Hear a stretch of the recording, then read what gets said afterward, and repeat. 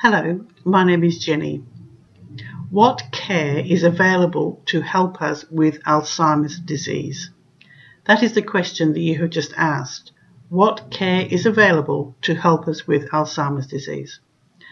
I am a nurse with 20 years' experience specialising in dementia and Alzheimer's disease, and I have spoken to so many people around the world with the same questions as you, so you're not alone.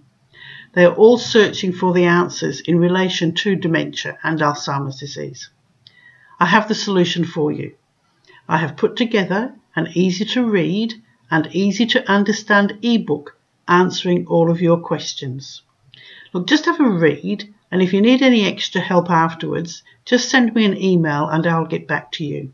Don't forget you're not alone and I'm here to help you.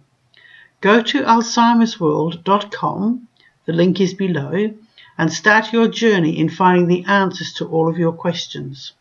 What care is available to help us with Alzheimer's disease? Thank you and take care.